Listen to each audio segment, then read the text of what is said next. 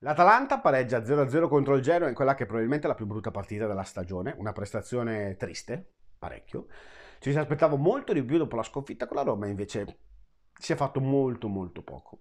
Diciamo che non c'è un gran bel regalo per i tifosi atalantini sotto l'albero. Eh, come al solito faccio alcune considerazioni ovviamente a titolo personale, poi voi nei commenti siete liberi di dire la vostra. Sulla partita, guardate, è la prima volta che mi trovo nella difficoltà di dover raccontare qualcosa perché non c'è stato niente. Il campo non ha detto assolutamente nulla, il Genoa non ha fatto praticamente niente, cioè non stiamo parlando di uno di quei pareggi in cui dici è l'avversario, ha fatto la partita della stagione. No, non ha manco attaccato l'avversario. Abbiamo fatto tutto noi da soli e questo è doppiamente amaro. E quindi bisogna fare delle discussioni extracampo, per forza di cose, per andare a indagare e riflettere sui due o tre problemini di questa squadra, tenendo conto che comunque, insomma, io sono più che soddisfatto di dove ci troviamo, dei punti che abbiamo fatto del percorso che stiamo facendo. Io credo che la partita di ieri abbia dimostrato innanzi sia figlia sostanzialmente della paura, perché uscito Zapata la squadra non ha più avuto il coraggio di rischiare, di esporsi, probabilmente gli spettri anche di fare una figuraccia hanno inciso tanto.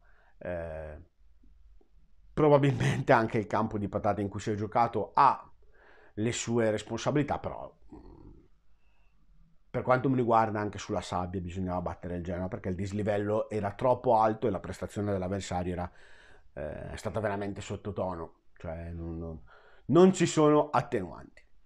Quello che però è emerso secondo me è che questa squadra è zappata dipendente, non solo nei termini offensivi e di reti, eh, cosa che comunque tra l'altro è vera, ma caratteriali. Cioè, uscito Zapata non c'è stato più nessuno in campo in grado di dare brio, mm, punzecchiare, sollecitare, sostenere i giocatori. Ci si è addormentati e nessuno ha avuto, non so, quel guizzo, quella, quella anche gesto d'orgoglio di provare anche magari un'azione in solitaria giusto per essere d'esempio agli altri. È un tema su cui bisogna lavorare perché l'avevamo già individuato in altre partite, fortunatamente non è un problema che emerge spesso, però caratterialmente questa squadra non è solidissima, lo sappiamo, è solida quando gioca a mille, ma altrimenti mostra un po' di fragilità da quel punto di vista e bisogna per forza lavorarci. Così come bisogna lavorare dal punto di vista dell'organico, perché la partita di ieri ha evidenziato come alcuni giocatori oggi eh, non siano così utili alla causa. Prendo Miranchuk che non ha sfruttato l'occasione ed era tranquillamente alla sua portata. Un Muriel che ha fatto sicuramente un grande 2021, ma in questo momento vuoi per le voci di mercato, vuoi perché è stanco, vuoi per uno, vuoi per l'altro, eh, non è in condizione, non è che offra queste grandi, queste grandi certezze. Un Ilicic che, per quanto la giocata sia sempre a sua portata nel complesso, non è che sostiene. Un Malinowski che cerca comunque quelle due giocate fisse e di conseguenza fortuna che arriva al momento del mercato sono curioso di vedere le considerazioni che farà la società, ma è abbastanza evidente che qualcosa bisogna fare, perché là davanti bisogna guadagnare in prevedibilità, bisogna guadagnare anche un po' di freschezza dal punto di vista mentale e quindi è utile inserire qualcuno, ma che sia subito decisivo. Vedremo come ci si muove.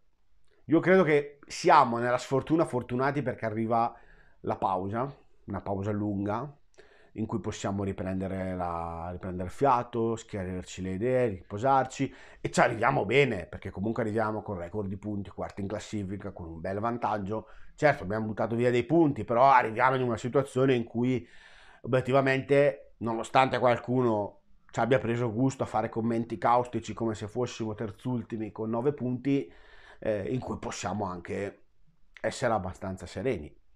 Dobbiamo ossigenare, dobbiamo affidarci anche alla società che deve fare delle scelte e quindi abbiamo questa pausa che proprio cade a fagiolo. Io non, non credo ci siano problemi più grandi di quelli che, che, si vedono. È solo un momento, un momento di flessione congeniale. fortunatamente la pausa ci permette di riprenderci e sono sicuro che faremo un gran bel girone di ritorno. Eh, direi che ho detto tutto. L'ultimo appunto che voglio fare è legato ai commenti di certi tifosi. Io ci sto a criticare la prestazione, ci sto a criticare la squadra perché è giusto che sia così.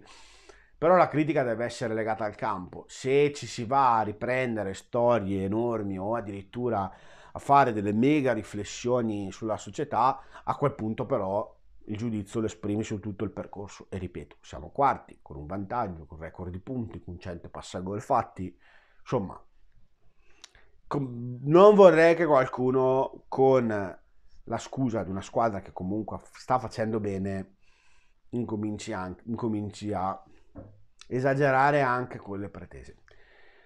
Direi che ho detto tutto. Mm, permettetemi di farvi gli auguri di Natale. Sicuramente ci vedremo per altri video, ma dubito prima fest- della festa. Quindi buon Natale a tutti voi, da, da, ovviamente da me e anche da talantini.com. Ciao!